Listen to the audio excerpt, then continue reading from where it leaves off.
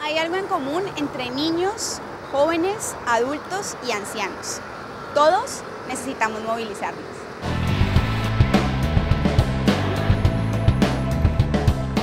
Hoy en tiempo real, movilidad en Cali. Tiempo real, de verdad.